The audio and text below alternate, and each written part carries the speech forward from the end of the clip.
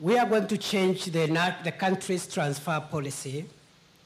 Any official in the law enforcement and public service space who, through action or inaction, contributes to the death of Kenyans, through negligence, they allow dangerous criminals, organized criminals, including drug barons, to have their way to access the public.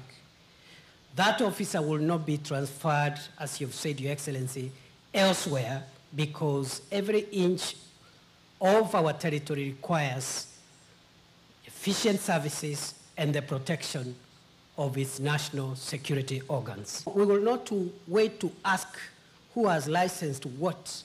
Once we discover certain outlets, buildings, facilities are threatening the survival of the nation, we shut them up, we shut them down. We will be able to discuss these other things about licensing later on.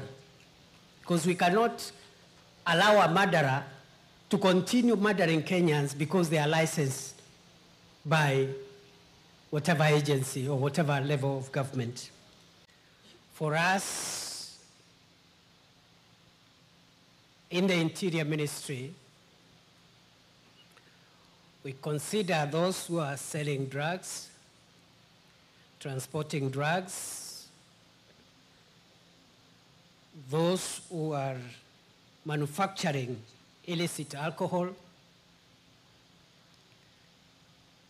as well as public officials who are enabling the purveyors of drugs and illicit alcohol to thrive as enemies of Kenya.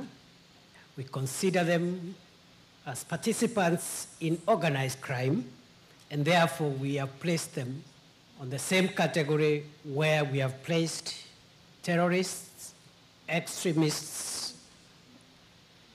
and bandits. There is no difference.